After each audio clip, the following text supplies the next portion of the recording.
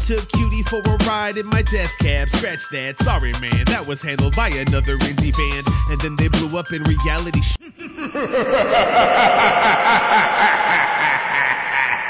yes, when you talk about success, did you really talk about this? Did you even know this plan exists?